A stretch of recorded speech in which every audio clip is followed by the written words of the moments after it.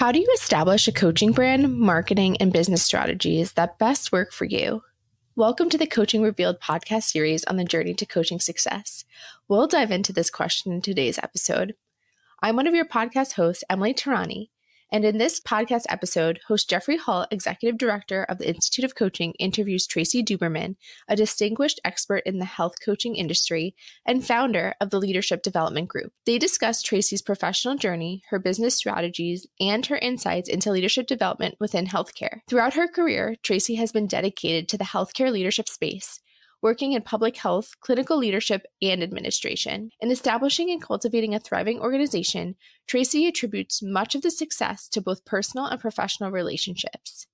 She's leaned into support from colleagues, friends, and families, while she's established relationship building as her most successful strategy for generating clients. In forming a brand and company, Tracy and Jeff discuss the importance of trying new things, finding what works best for you, and seeking out collaboration and expert advice to bounce ideas off of from people you trust. We close this episode with Jeffrey and Tracy discussing how to market a coaching business in 2024 and what might work well in this constantly changing ecosystem. Thank you for learning more about the coaching field with us at the Institute of Coaching and our podcast, Coaching Revealed. Let's get started. Well, hello, everyone and welcome back to Coaching Revealed, the coaching podcast from the Institute of Coaching. My name is Jeffrey Hull. I'm the executive director of the Institute of Coaching, and we are super excited to have you back for our third season. And we are thrilled to have one of our fellows from the Institute of Coaching joining us. Her name is Tracy Duberman. She's a PhD and has many other letters after her name but she is an expert and visionary and influential leader in the health coaching industry, the health industry in general. She is the founder, owner, and developer, developer of her business called the Leadership Development Group. And she truly is an expert on how to build a business from the ground up that involves leadership development, coaching, all across her specialty area, which is the health ecosystem. So let me just give you a little bit more background on Tracy. So she's a certified professional executive coach herself. She's a fellow of the American College of Healthcare Executives. She's a fellow of the Institute of Coaching, as I mentioned before, one of our thought leaders at the Institute. She applies evidence based insights and best practices to design and deliver customized talent development solutions that align talent to strategy. She's also the author of a groundbreaking book called From Competition to Collaboration How Leaders Cultivate Partnerships to Drive Value, Transform Health. And having worked with her closely, I can say that she's an inspiring leader who has really made a mark on the healthcare industry. So mm. I am super thrilled to be here with you. And as I always like to start, Tracy, with these interviews, just to sort of step back before we get into your marketing expertise and your sales success, which we will, I'd like to just have you share a little bit about how it all came about.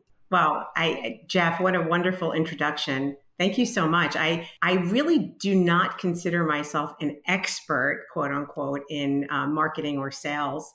But I will say that if I look over the lifetime or the trajectory of my own professional journey, I sort of fell into this and I think that uh, it really came from my desire to help others and my strong value in building relationships. Um, so I think if you have those two core competencies, it may not feel as onerous to build a business in an industry that you're connected to uh, personally and professionally, and you work with people that you really enjoy the rest of it comes pretty naturally.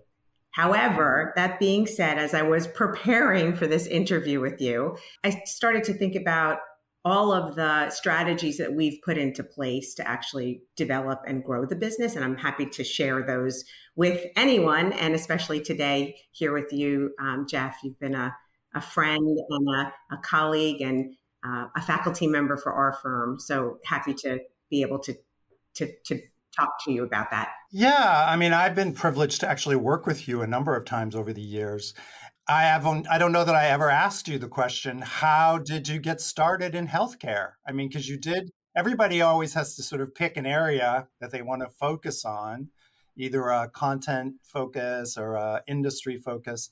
So tell us a little bit about how health, healthcare came to be your specialty. Sure, absolutely. Happy to share my journey. So I started out my career um, as a, I would say, a researcher within the healthcare industry. My academic background is in public health. And truth be told, I thought that I would be a professor or do uh, clinical research as a career for myself early on you know, it's fortuitous a journey that we take, and you know, you have to look for opportunities and and and kind of gravitate to the ones that really resonate for you. So for me, working in a hospital setting was something that I really enjoyed. I loved being surrounded by the clinicians, nurses, and physicians. And so early on in my career, I was doing a lot of work in operations and administration in healthcare. So I got to see frontline leaders doing the work of patient care and administrators supporting uh, the work of the clinicians. And I was fascinated. At the end of the day, there's very little attention being paid to developing the skills of those clinical leaders to be leaders themselves in the way in which they communicate all of the leadership behaviors that you and I talk to our clients about time and time again and help to coach them to be performers in that area. Instead, in an area where being a high professional like a clinician is what folks focus on in terms of their clinical um, academic experience, um, the need for coaching was something that I kind of saw early on. I was recruited into the Hay Group, which is now part of Korn Ferry, that I learned that there's a whole science behind building leadership capabilities. And I just fell in love with that area of expertise. Long story short, um, about midway through my career, I was in my, let's say, this was almost 15 years ago. So I was in my early 40s.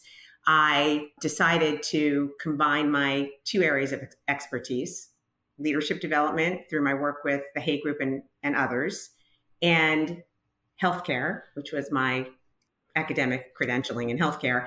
And I combined the two and opened up the leadership development group, wholly focused on developing executive, physician, nurse, and other clinical leaders within various sectors of the healthcare industry. And I have to ask you, what was going through your mind when you decided instead of just being an executive coach, which you could, you are, and you could have gone that route, that you actually decided to found a company that was focused on even a broader set of services, including programming, development classes, seminars, coaching, all of the above. Yeah. So I think um, I do love delivering the work. So I love being a coach and an OD consultant. So not only coaching, but team development, design of performance management programs, succession planning, et cetera. Um, but the need is so great that no one individual can do it alone. So I started to team up with individual coaches and OD consultants.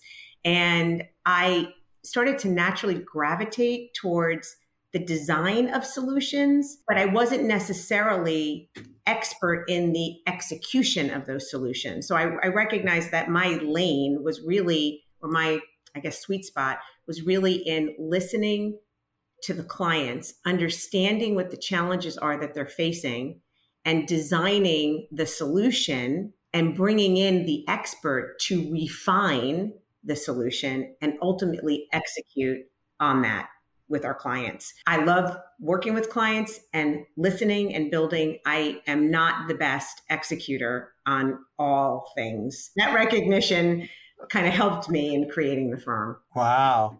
But were you ever fearful or anxious about actually being the founder of a firm that's going to offer that suite of services? I mean, you make it sound like it was such an easy decision because it's your sweet spot, but yeah, I mean, not easy at all. I will tell you for those coaches out there that are thinking about opening a firm like this, thankfully, I had the support of, of family and friends to kind of cheer me on and um, make me feel as if I, you know, could do this and had the confidence. My husband is an entrepreneur himself, so I learned a lot from him, and um, he helped to lead the way. And then I was smart enough to take some really good advice early on from colleagues to say, let's help you by building an advisory board and bringing in people that could help you in building a business, whether it was financing or marketing or depth of expertise within particular sectors of the industry that I wanted to be working in. So I, I had a lot of people behind me. I, you know, there's a lot of wind beneath the wings. Yeah, but it's funny. It, it circles right back to where you started, which is that you're highly relational, recognizing that even though you're the founder and you're the one that made the business come into fruition,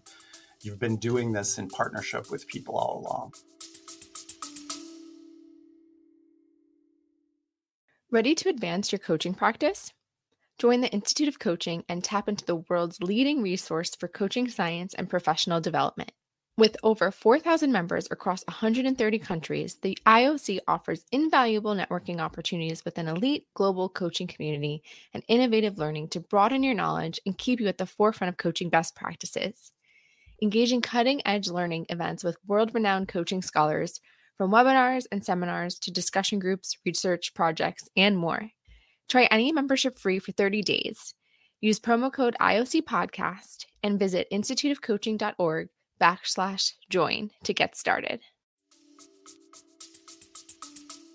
all along, which is, you know, interestingly enough, the, the, the title of the book that you mentioned is From Competition to Collaboration. So much more can get done through collaborative partnerships as opposed to competing against one another. And in the work that we do in particular, which is leadership development, in particular within healthcare, it, you've got to be collaborative in the way you do your work. Um, it, there, there's so much work to go around, um, and no individual can do it alone. So once you have that recognition and you open yourself up to the possibilities, you could really go far. Let's switch gears then and talk a little bit about how you have built the business because it's been quite a success. I mean, you have a team, you do programs all across the US. I know I was involved in New York programs and you do them in Texas and California and Massachusetts. And how did that all come about? When we started 15 years ago, it was myself and Lisa Clark, who you well know. She started out w- with me as my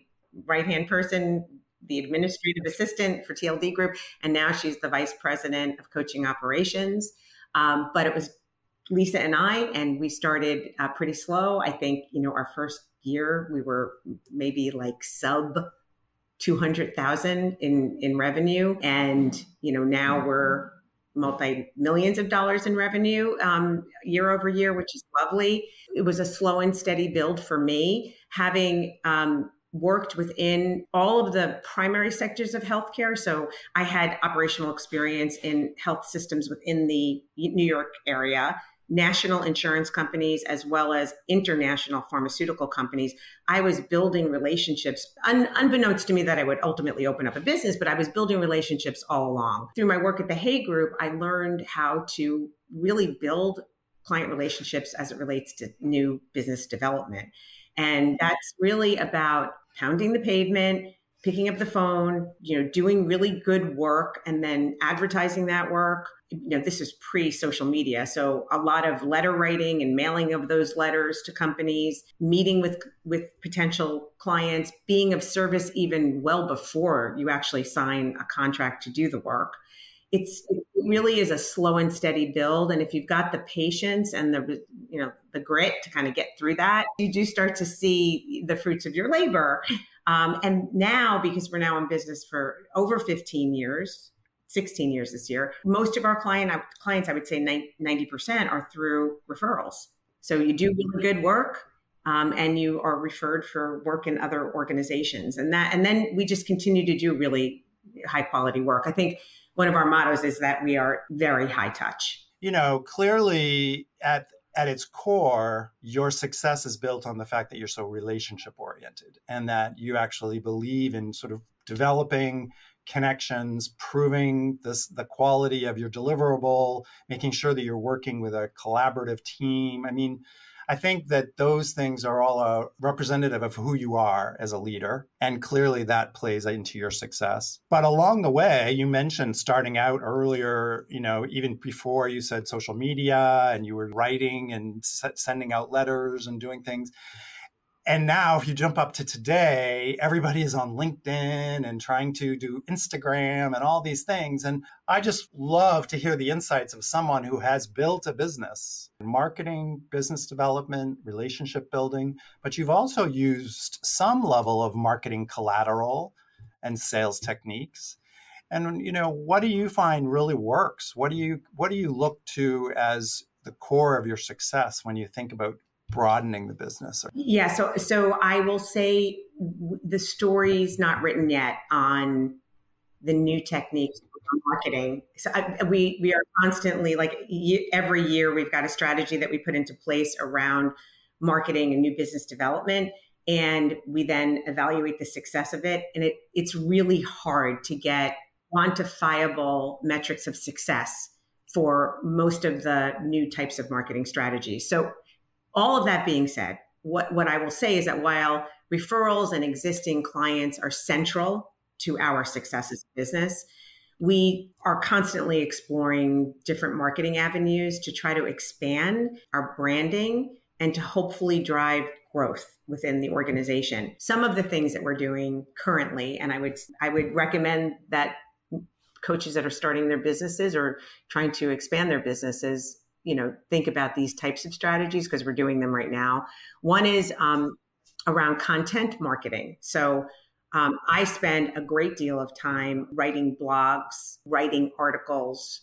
We work with our faculty in creating case studies and these are ways in which we can showcase our expertise. We share those on our personal linkedin pages. We share them on our company LinkedIn pages.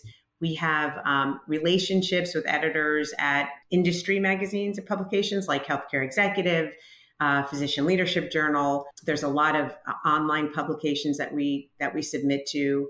Don't always get accepted, but we submit to.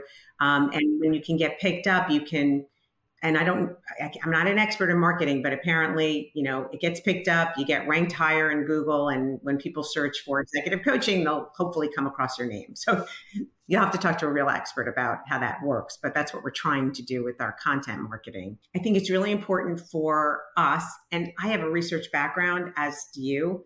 So I, I think right. that actually sharing your experience um, and being able to quantify the work that you do in a way that actually showcases the metrics of your success in some way is really important as you talk about the work that you do. So whether it's for the purposes of branding or it's for the purposes of talking to clients that you're currently doing work with, I think it's really important to do. I remember when I first started working with you, which goes back quite a long way. You know, I was relatively new to working in the healthcare space at that time.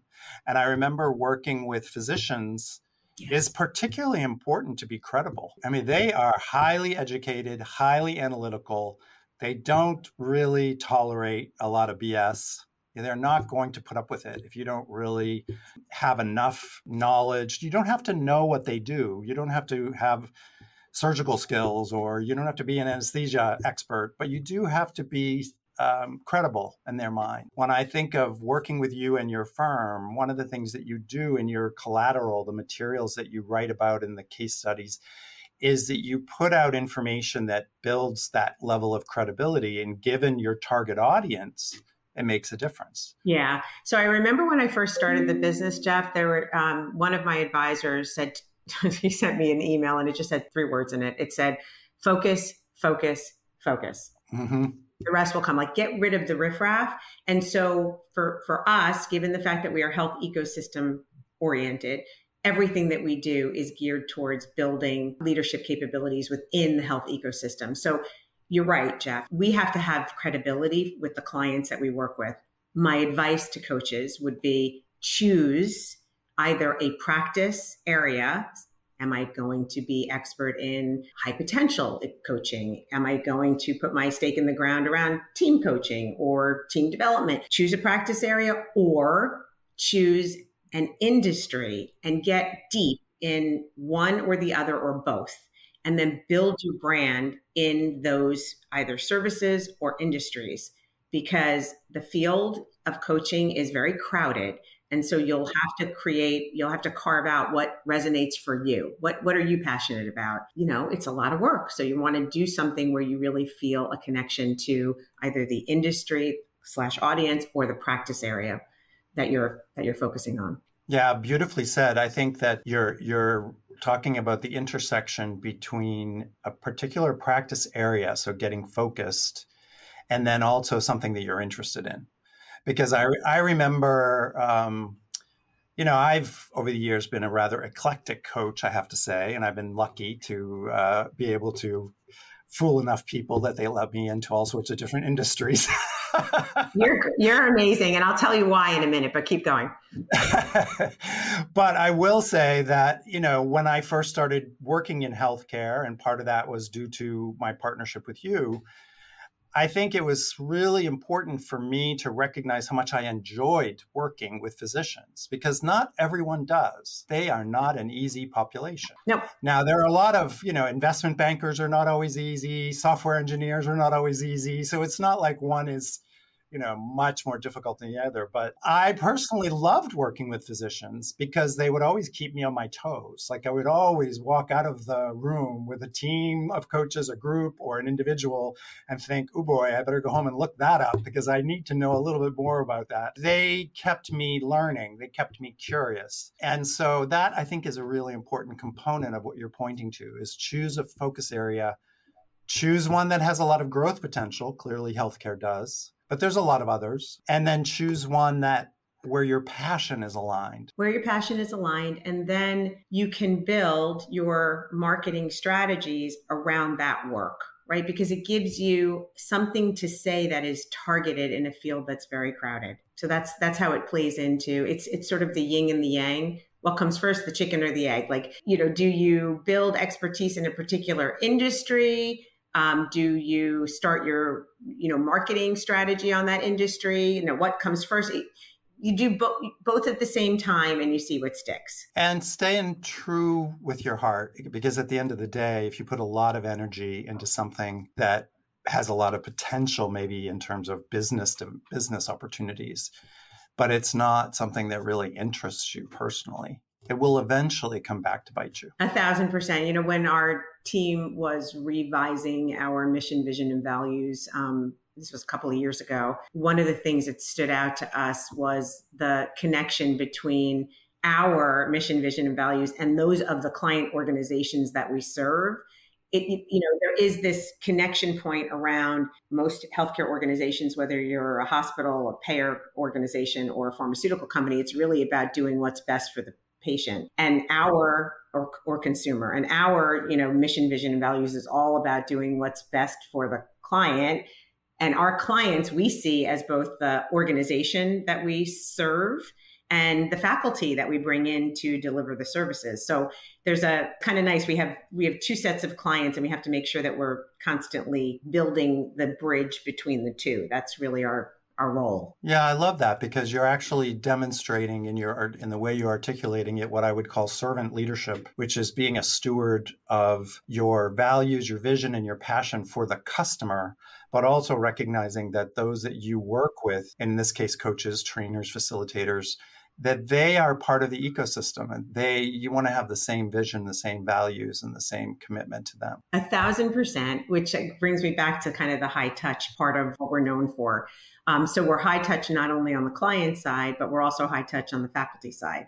And i think that's one of the reasons why we've been successful in bringing in such incredible talent, including you, Jeff, and many of your colleagues from the IOC and beyond. I think it's because, and you can tell me if I'm right or wrong, we we do a lot of handholding. We want to make sure that you understand the clients that we're bringing you into. We want to make sure that you understand why you've been chosen because of your area of expertise for this particular client and the support that we provide um, to you and other members of TLD Group's faculty to be a part of our you know our family um, whether it's through communities of practice that we offer or you know discounts on training and accreditation for certain assessment tools et cetera we try to provide you know a service to our to our folks that are a part of the family. No i think and it's very evident. I mean having met not only you but a lot of the colleagues and the folks that you have as part of your team i can speak to it from experience. One of the things that makes your firm unique and one of the reasons I wanted to interview you is that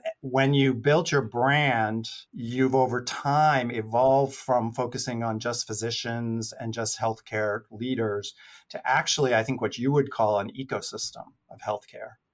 And what I think is really special about that and worth listening um, to more about how that evolved from the perspective of any coach who's out there listening to this podcast is that I think it represents the future. We, as coaches, as you said, there's a lot of us out there now. What you are already doing, I think, is something that many coaches, especially ones who would like to be creating and growing a firm around coaching and development, is thinking bigger than just a bunch of individual doctors or a bunch of individual nurses. You're thinking about it in terms of an ecosystem. So, say how that evolved in your mind, because I think it's actually very impressive and very forward thinking and helpful, you know, for anyone, not just in healthcare. But if I were in the high tech space, I'd want to be thinking about the ecosystem of technology. Thank you. Well, the theory of um, health ecosystem leadership was something that we developed on recommendation of our advisory board some 10 years ago. And there was this kind of like aha. Of course, it's obvious now, but there was an aha that we were really in a, a unique position in that we were doing work, intimate work, with clients from the various sectors of healthcare. And, and so I know it seems natural now, the terminology health ecosystem, but back then it was like organic chem uh, you know, terminology that's coming from a, you know, university professor. But no, it was, it was like, okay, there's a system in place. And if all parts of the system can work together, we can actually change the trajectory of healthcare in the in the countries in which we're doing business. The idea was let's start thinking about what are the leadership capabilities that individual leaders need in order to start thinking that way, thinking like a collaborative leadership, thinking in terms of partnerships, thinking about diverse perspectives and pulling people together that they don't necessarily know yet, uh, but they play a role in ultimately the vision of promoting health and wellness. So that's where the theory of health ecosystem and the competency model that we developed came from. So we started to do some research and we think about it like an accordion. So at the individual client level, we talk about it. So if you're dealing with a health system, it's sort of like, okay, so what do you, individual leader within a department, need to be thinking about cross department in order to be effective in executing the strategy? And then we think about it within the sector. So what do you, hospital president here, need to be thinking about in terms of the other hospitals either within your system or outside your system and then as an ecosystem what do you leader within a pharmaceutical company need to be thinking about in terms of collaborating for health and wellness with your hospital systems in your area so it's kind of like raising the bar on the mindset and it requires you know coaching to have people think differently um, we started to do a program. Um, so this is uh, from a sales and business development perspective. We we opened up a we, we did an open enrollment program, which was the first for our business that we call the health uh, the Institute of Health Ecosystem Leadership, and we invited leaders from various sectors to come together where we were teaching these skills, and we did it like an academy. So we had some training and we did a bit of individual coaching and then we had some project work that we were doing. And it was such a great opportunity. We had the best time doing it. But here as a business owner, I had to make a decision because it, it was a very big effort on our part to pull this off. And it was it wasn't quite ready for prime time. So it, what I mean by that is we weren't getting enough participants to want to really do this work. Is that because it was too new? for people to really get wrap their their minds around? Uh... I mean, if you ask the participants, of which we had 25, um, they would say no, they were ready for it. I think I think the issue is who's going to pay for it, who's going to pay for the program. I don't know that the leaders within the individual organizations quite understand it yet. They're focused very myopically on doing the work of their organization and they don't necessarily see i was i was hoping like we'd have a bestseller on our hands with my book and everybody would be reading it but they don't necessarily see the perspective that i wrote about in the book which is this cross sector collaboration i'm cautiously optimistic that in due time things will turn around well, it, it's it's almost a necessity, right? That people ultimately have to wake up and see themselves as part of a broader system. A thousand percent. And I mean, I would have to say that you maybe you're a bit ahead of the curve. You know, that's an interesting question for you to reflect on as an entrepreneur because that's always the challenge when you're trying to find the sweet spot when you can bring in revenue you can grow a business you can bring make your coaches get paid and your staff and at the same time sort of push the envelope right for your clients.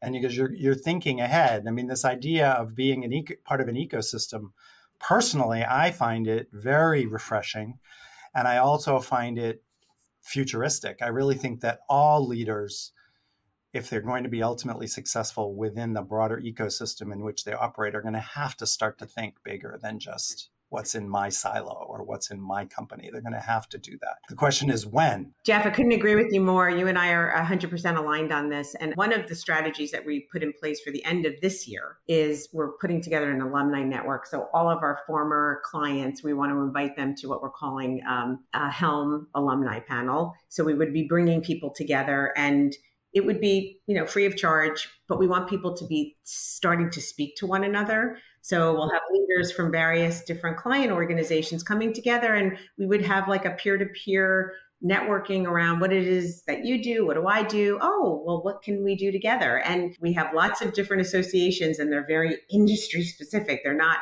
cross sector so we have to start thinking more cross sector. That's that's my big hope and dream. I totally agree. I, I mean, you're reminding me of the many conversations I've had at the Institute of Coaching with Margaret Moore and Carol Kauffman, the founders, around how to integrate leadership coaching with health and wellness coaching and why are they considered separate? Why were they siloed in the first place? Don't leaders need to be worried about health and wellness? And aren't health and wellness practices key to the success of leaders? It's like that integration has become more the norm. You know, leaders are recognizing that taking care of themselves, taking care of their people is uh, um, key to their success. It's a critical success factor. So we are moving in the right direction. I totally agree. So that's sort of like the the hidden gem of COVID is that there is this focus. I, I can't even say renewed because I think it's new. Uh, there's a new focus now on health and wellness. I mean, we, we, in our industry see burnout as a huge issue. It's a huge challenge our organizations are facing. So, a lot of our coaching, if you look at our data um, across all of our clients, um, the ability to um, balance, like work life balance, or we call it work world balance, really at this point, is a top trend in terms of development goals for our coaching clients. And the kind of firm that you run and the kind of data that you can collect with coaching, with training, with facilitating these dialogues is incredibly helpful to people out there who are trying to you know see what is the future right what is possible well thanks to you and your and other faculty at tld group we're able to collect this information through our our tracking system where we track the goals. And we actually just presented it at ioc this past year. That's right. that's great. that yeah. came out of the different sectors. It was really interesting. It's um yeah I, I mean i love doing the research. I'm a nerd at heart so that's that's fun for me. That's why you can thrive in the healthcare space because it's just there's a lot of them, a lot of us. The truth of the matter is, physicians, nurses, allied health professionals, anyone that ha- kind of comes in with this like depth of expertise in clinical care, those I find those folks to be incredible coachees because they have such a thirst for knowledge. So to me, they're the greatest clients to be working with. Right. And maybe I'm biased, but and hopefully you feel that way now. I absolutely do. And that means that you're in the right niche. Let me just take advantage of your expertise and your years of experience in the coaching space and in the leadership development space and share with our listeners you know if they wanted to you talked about choosing a focus you talked talked, talked about the limits and opportunities in marketing what would you say is key to being successful in today's changing marketplace? Here's what I would say. There's a lot of shiny bubbles everywhere. And so you can, you know, think you've got to go deep on artificial intelligence or you've got to like invest heavily in new technology and systems. I would say those are great as accoutrements but you got to go back to the basics. If you want to run a successful practice, whether you're a sole provider or you want to open up a business like mine where you have multiple folks working with you, uh, you have to stay focused on relationships, building relationships. That's, when you do good, you will do well. So I, I think that's, you know, that's that's it for me. You know, we, we we sort of we dabble in lots of different things, but I'll tell you over the course of my now 16 years, 90% of our business is all about relationships. So, at that ending note, would you say there is any key to choosing the marketing focus? Does it matter whether you focus on particular social media or writing a book because you've done that? As a close, which would you choose for if you, if you were to focus on something, knowing full well that you can't necessarily directly assign and you know our revenue to it, but I mean, is it social media that really matters, or is it writing collateral? Is it blogging? Is it website? Is it getting on LinkedIn? Is it where, what do you think really does help these days? Yeah. So I think the first thing to do is to identify your target market and identify who is who are you ultimately selling to? So who's going to you know write the check? Look at their profile. What do they read? What do they like to do? You know where what kind of conferences are they going to? And then focus your marketing strategies to that. And so that's why it's important to kind of get focused, get laser beam focused on who your audience is, what your industry is, and what your area of expertise is. And then all the marketing kind of goes to understanding what we call the persona, like who's the person that you're marketing to. Get that down and then and then everything will follow. If they're on LinkedIn, then do your blog posting and put them on LinkedIn or try to connect through the invite connections on your LinkedIn. If they go to industry conferences, try to you know go or even propose to speak at that industry conference and then you can go to the conference meet people shake some hands do research with your clients publish with your clients like real success stories so that you can get the word out about the your your success stories i completely agree you're reminding me of the day that one of my clients at duke anesthesia asked me to come and facilitate a strategy offsite for what did he call it echocardiography and anesthesia. And I had no idea what he was talking about. But I knew to do two things. One, to do my homework on what echocardiography was, so that when I got up in front of the room to facilitate the discussion, I wasn't completely um, lost, even though I would never be an expert in it. And number two, I was just honored that they were looking into this subject in such depth that they wanted to have a collateral, you know, a collaborative discussion around it. And I think that's exactly what you're pointing to. It's like we need to follow what the client looks into. And that will probably make our answer actually relatively easy rather than confusing. A thousand percent. A thousand percent. Mm-hmm. Well said, Jeff. Yeah. Well, listen, it's been such a pleasure to have you on our podcast. I want to thank you so much for taking the time. And I want to thank all of you for joining us. Hopefully, you found it valuable to hear Tracy's journey to success. And if you're not a member of the Institute of Coaching, please consider going to our website, instituteofcoaching.org sign up. There are, it's only $15 a month to be an affiliate member, and there's an amazing amount of resources. You would never be able to get through all the articles, journals, webinars, but it's a lifelong journey of learning, and um, we hope you'll join us. And we'll see you again next time for our next installment of Journey to Success. Take care, everyone. Bye bye for now. Thank you, Jeff.